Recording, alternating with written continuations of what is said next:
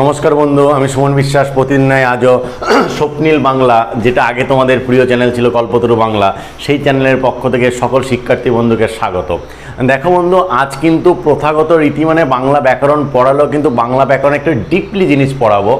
কেন ডিপলি বলছি? কারণ আমি তোমাদের দল বা অক্ষরের পর আলাদা আলাদা দু চারটে ভিডিও করে দেখে দিয়েছি যে দল কী জিনিস গুরুত্ব কোথায়, দল কীভাবে বিশ্লেষণ করতে হয়। সেই ভিডিওটা দেখে নিও, তাহলে আজকের ক্লাসটা কিন্তু বুঝতে সুবিধা হবে। আগের পড়ানোর উপর ভিত্তি করে আজকে একটা ডিপলি ক্লাস করব যে সেটা যদি বুঝে থাকো ঠিকঠাকভাবে, তাহলে এটা কিন্তু তোমাদের পক্ষে বোঝা কিন্তু সম্ভব হবে।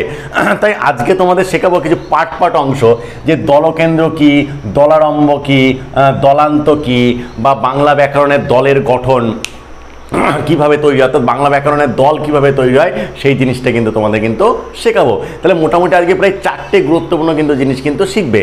তাহলে দেখো বন্ধু, প্রথমে যদি আমাকে শিখতে হয়, এই যে দল, দলের আরেকটা নাম কিন্তু আমরা জানি অক্ষর বা যাকে আমরা বলি কিন্তু সিলেবাল ইংরেজিতে যাকে সিলেবাল কিন্তু বলা হচ্ছে।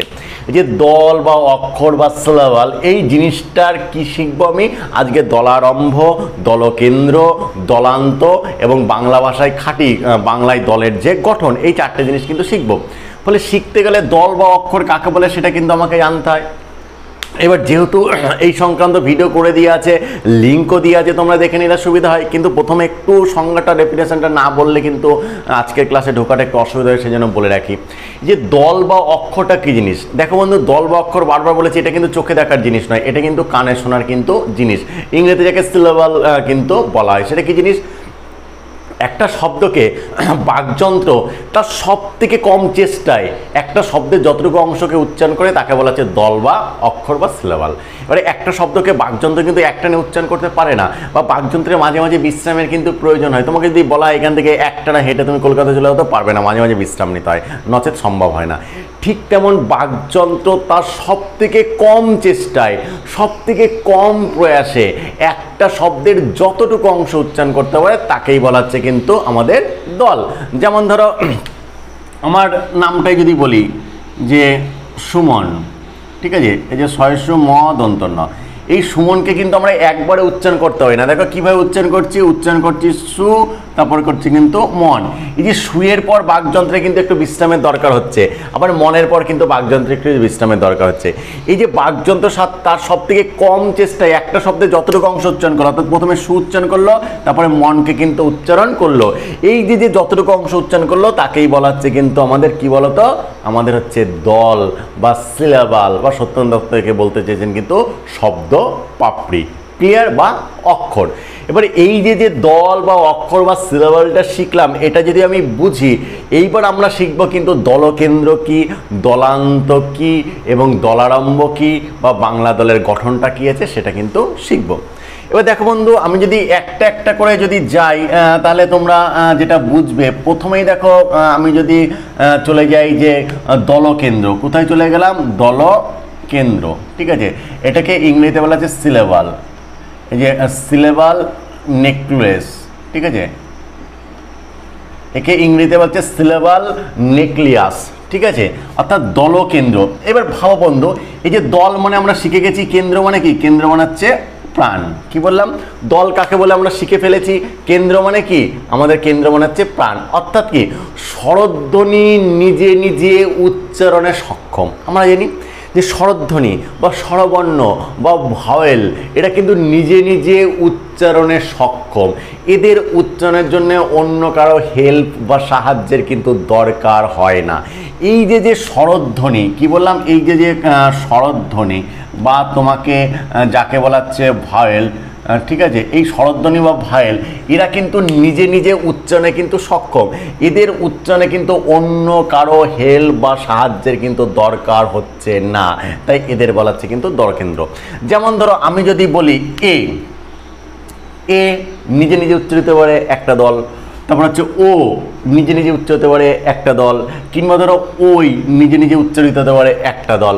অর্থাৎ কি বলতো? অর্থাৎ বন্ধুরা, এই যে স্বরধ্বনি নিজে নিজে উচ্চারিত হতে পারে, এদের কারও হেল্পের দরকার হয় না, বা এরা নিজেই স্বয়ং একটা দল গঠন করে। অর্থাৎ দল গঠন করার জন্য স্বরধ্বনি ছাড়া অন্য কারও হেল্প নেয় না।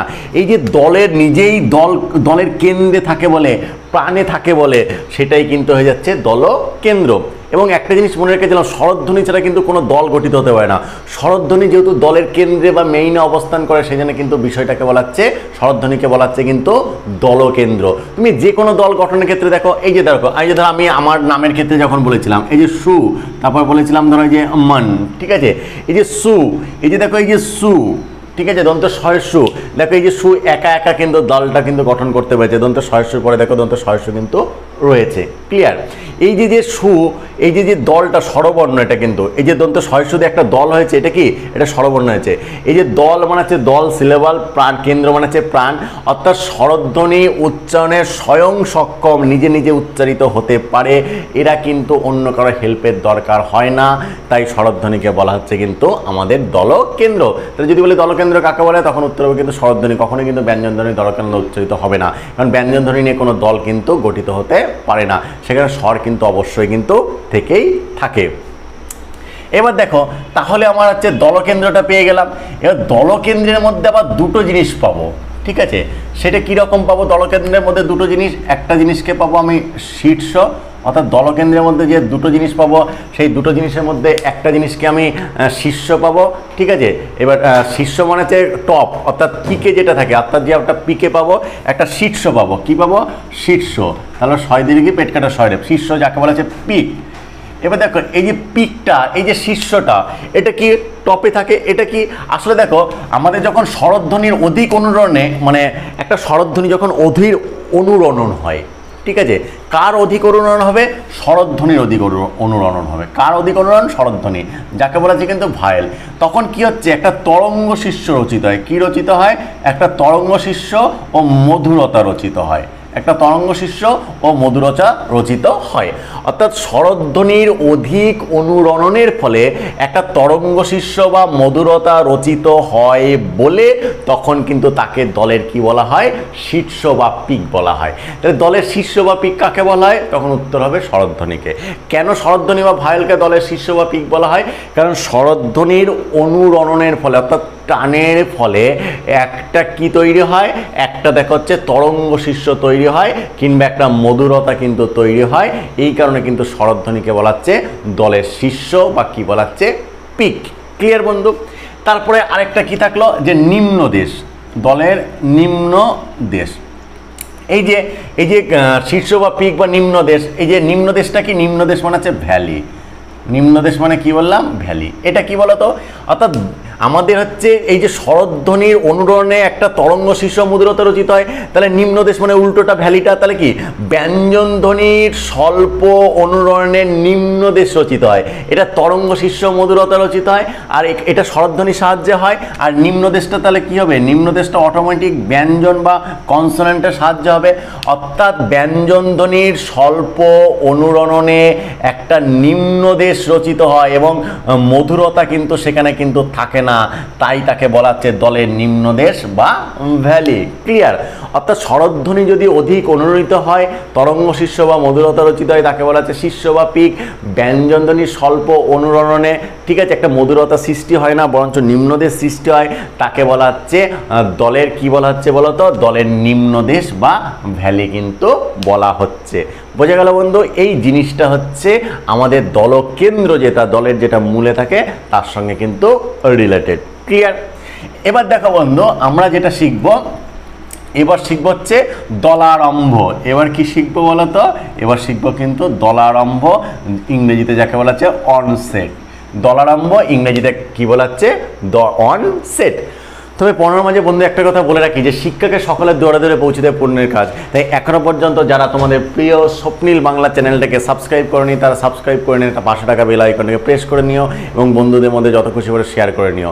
কেন বন্ধু, আমি দেখেছি বিগত দশ মাস ধরে তোমরা আমাকে যথেষ্ট ভালোবেসেছো, আমার ভিডিও শেয়ার করেছ লাইক করেছ, আমাকে কমেন্ট করেছ, এভাবে ভালোবাসতে থাকো। তাহলে অবশ্যই কিন্তু তোমাদের জন্য বুঝতেই পারছ, প্রতিদিন নতুন নতুন টপিক চুজ করি, তোমাদের ডিপলি শেখানোর চেষ্টা করি। কারণ ডিপ যদি ঠিকঠাকভাবে না জানো যদি ব্যাকরণটা ঠিকঠাক আত্মস্থ না হয়, তাহলে কিন্তু পরবর্তীকালে সেই বইয়ের উপর নির্ভর করে থাকলে কিন্তু তাহলে সম্মানটা অন্তত কিন্তু পাওয়া যাবে না। কারণ এই ছেলে কোলে নিয়ে, বই কোলে নিয়ে পড়ানোটা আমার ঠিকঠাক কিন্তু পছন্দ হয় না। বা নিজের কাছে করে যদি স্বচ্ছ ধ্যান বা জ্ঞানটা তৈরি না থাকে, ফলে কাউকে বোঝানো বা কারোর সঙ্গে আলোচনা করা বা এই উত্তরটা ঠিক না, ভুল, সেটা কিন্তু নির্ণয় করা কিন্তু একটা সমস্যা হয়ে দেখা দেয়। এবার দেখো বন্ধু, এই যে দলারম্ভ, দেখো দলারম্ভ মানে কি দল যুক্ত আরম্ভ। আরম্ভ মানে কি? আরম্ভ মানে হচ্ছে শুরু ক্লিয়ার আরম্ভ মানে কি? শুরু। তাহলে দলারম্ভ কাকে বলব? দলারম্ভ মানে হচ্ছে এই যে শরধ্বনি কি বললাম? এই যে শরধ্বনির আগে শরধ্বনির আগে অবস্থিত ব্যঞ্জনকে। ব্যঞ্জনকে এই যে আমাদের কি বলা হচ্ছে? আমাদের আরম্ভাংশ বলা হচ্ছে।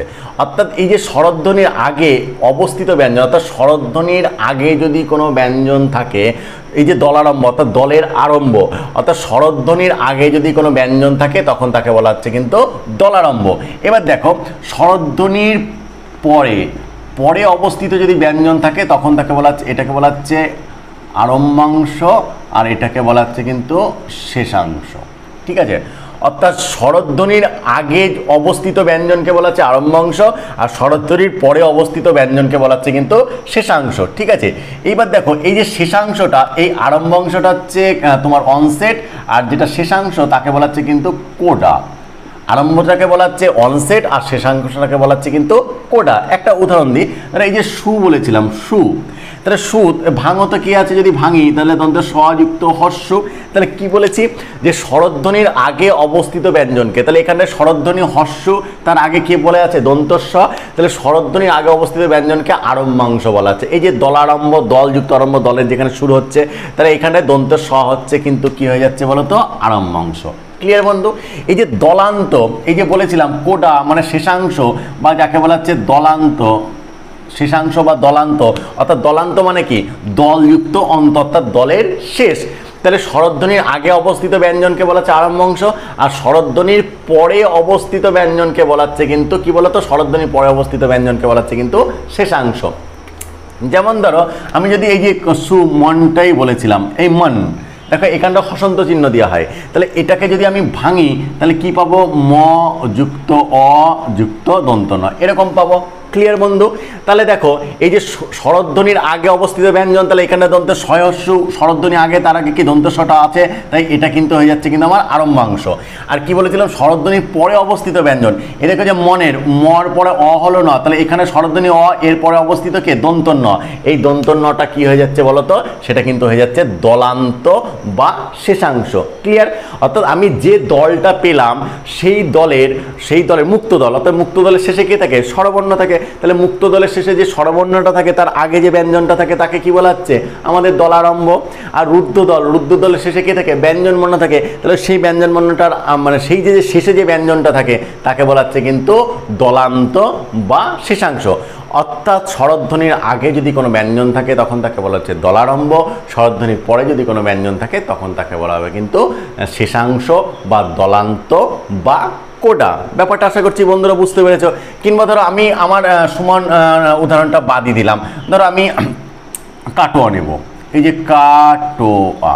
তাহলে এই যে কা হলো, টো হলো, এই যে আ হলো। দেখো, এই যে কা, এই যে কা, এই যে ক যুক্ত আ। ক্লিয়ার এই যে শরধ্বনি আ, এই যে আর আগে যে ব্যঞ্জন, ক। আর আগে কোন ব্যঞ্জন আছে? ক। তাহলে কটা হয়ে যাবে কি বলতো? আমাদের তলারম্ভ। বোঝা গেল বন্ধু, এই যে বিষয়টা, অর্থাৎ আমরা যদি বুঝি শরধ্বনির আগে ব্যঞ্জন থাকে, তাকে বলব দলারম্ভ বা দলের শুরু, আরম্ভাংশ, আর শরধ্বনির শেষে যে ব্যঞ্জন থাকে, তাকে বলেছে দলান্ত বা শেষাংশ বা কোডা। ক্লিয়ার বন্ধু? এবার দেখো, আমরা যে জায়গাটায় যাব, সেই জায়গাটা হচ্ছে বাংলা দলের যেটা গঠন। কি বললাম? বাংলা দল বা অক্ষরের গঠন। কি শিখব?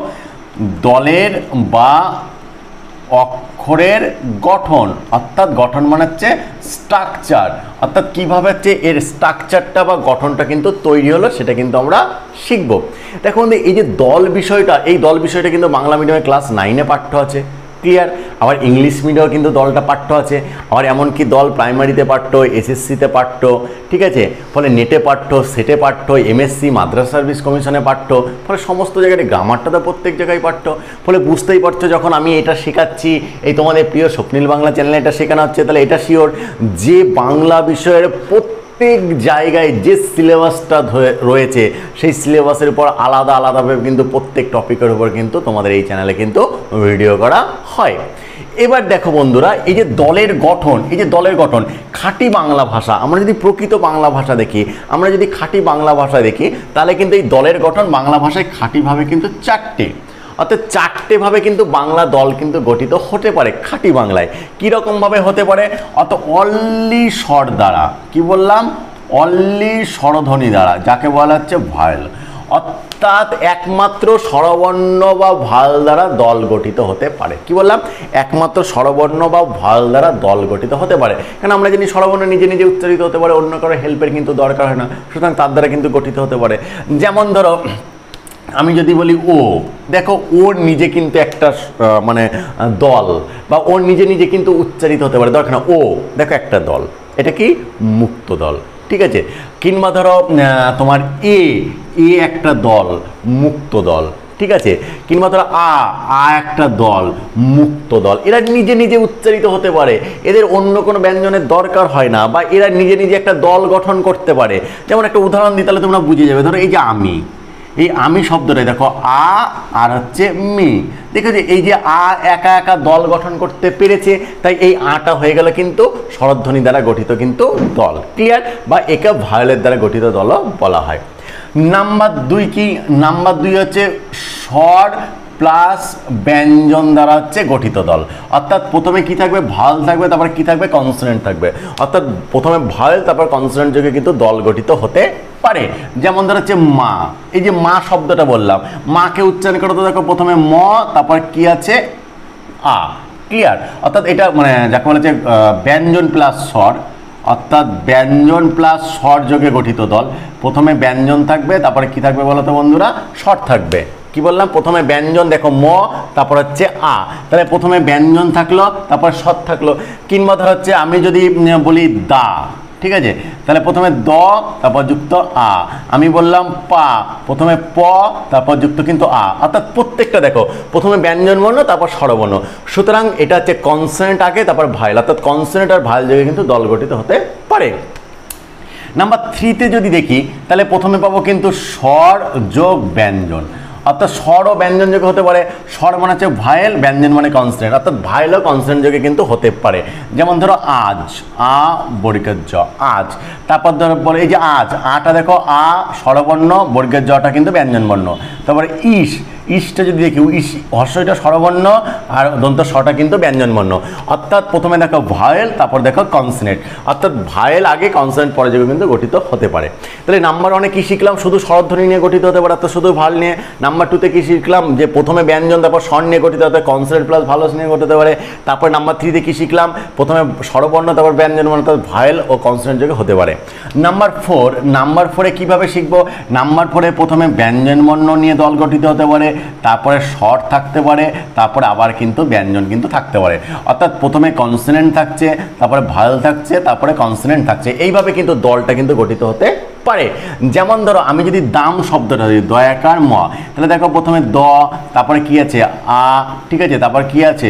ম ক্লিয়ার তাহলে প্রথমে ব্যঞ্জন, এই দেখো দ ব্যঞ্জন, তারপর স্বর, এই দেখো অস্বর তারপরে ব্যঞ্জন, এই দেখো হচ্ছে ম ব্যঞ্জন। কিংবা ধরো আমি দুর শব্দটা যদি ধরি দয় দীর্ঘ র, তাহলে প্রথমে দ, তারপরে কে থাকে? দীর্ঘ, তারপরে কে থাকে? আমাদের কিন্তু রয়ে হসন। তাহলে প্রথমেই দেখো ব্যঞ্জন কনসোনেন্ট তারপরে দীর্ঘটা কি স্বরবর্ণ, অর্থাৎ ভাইল তারপরে রটা কি ব্যঞ্জন বর্ণ, অর্থাৎ কনসোনেন্ট সুতরাং বাংলা দলের গঠন বাংলা, খাঁটি বাংলা ভাষায় কিন্তু দল চারটে ভাবে গঠিত হতে পারে।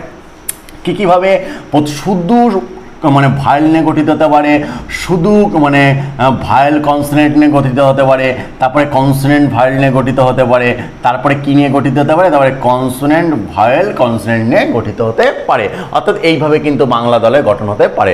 আশা করছি বন্ধুরা, আজকের ক্লাসে এই যে দলকেন্দ্র কি, দলারম্ভ কি, দলান্ত কি, শীর্ষ কি, নিম্নদেশ কি এবং বাংলা দলের গঠন, অর্থাৎ একটা ক্লাসে প্রায় পাঁচ ছটা তথ্যকে খুব সুন্দরভাবে তোমাদের সামনে তুলে ধরতে পারলাম। তারপর যদি কোথাও মনে হয় সমস্যা রয়েছে, অবশ্যই কিন্তু আমাকে কমেন্ট বক্সে কমেন্ট করে জানাবে। আমি যত সম্ভব উত্তর দেবো। আজকের ক্লাসটা এই পর্যন্তই। নমস্কার বন্ধু।